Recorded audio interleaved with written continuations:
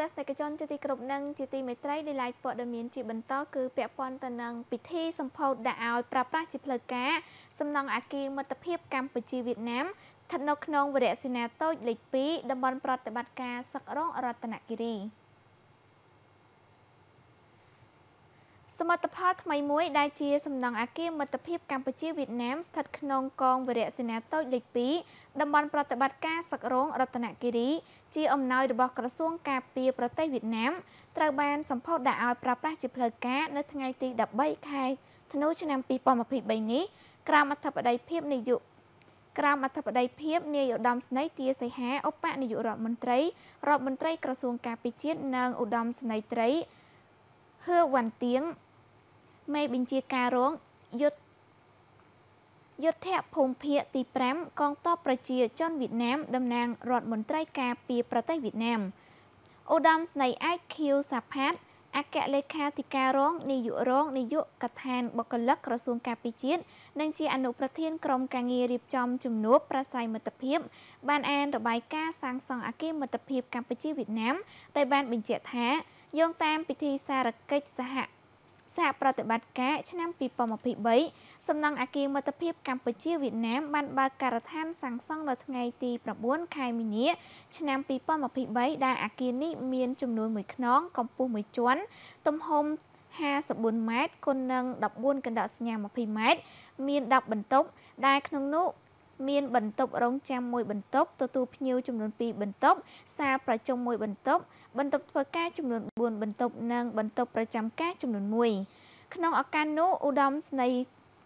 ត្រីទាវ៉ាន់ទៀងតំណាងរដ្ឋមន្ត្រីការពារប្រទេសវៀតណាមបានបញ្ជាក់ថាសំណង់មិត្តភាពដែលជាជំនួយដោយក្រសួងការពារប្រទេសវៀតណាមមានអត្ថន័យជាក់ស្ដែងចំពោះអង្គភាព បង្កលក្ខណៈងាយស្រួលដល់ជីវភាព និងលើកកម្ពស់គុណភាពការអនុវត្តការងាររបស់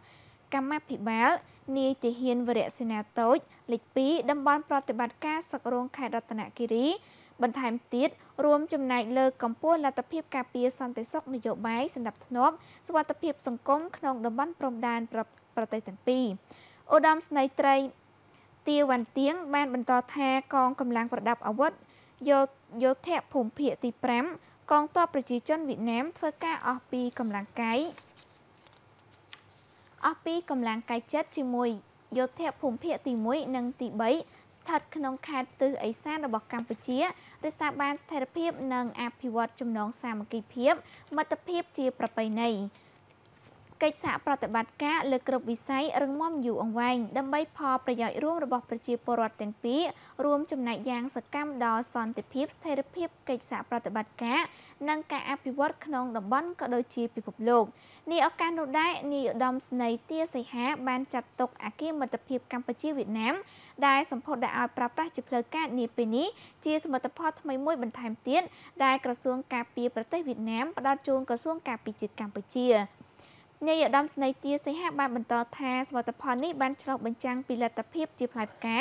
ការចេញពីការរីចម្រើនគ្រប់ជ្រុងជ្រោយគ្រប់កម្រិតនៃកិច្ចសហប្រតិបត្តិការទ្វេភាគីរវាងកម្ពុជានិងវៀតណាមសម្រាប់ឆ្នាំ2000 សម្រាប់ឆ្នាំ2023នេះនឹងជាការចូលរួមអបអរសាទរជំនួបប្រស័យមិត្តភាពការពារជាតិថ្នាក់រដ្ឋមន្ត្រីលើកទី1ចំនួន3ប្រទេសកម្ពុជាឡាវវៀតណាមដែលនឹងប្រព្រឹត្តទៅនៅថ្ងៃទី14ខែធ្នូឆ្នាំ2023សម្ដៅរួមចំណាយបង្កើនទំនាក់ទំនងជិតខាងមិត្តភាពជាប្រពៃណីកិច្ចសហប្រតិបត្តិការយូរអង្វែងនិងគ្រប់ជ្រុងជ្រោយ។